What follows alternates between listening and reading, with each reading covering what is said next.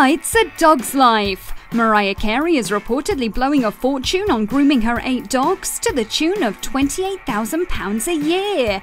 The singer is reportedly worth £290 million, so this probably isn't putting a dent in the bank balance. Not that the pampered pooches would care, as they are chauffeur driven and treated to lavish massages and manicures in Beverly Hills, report The Mirror.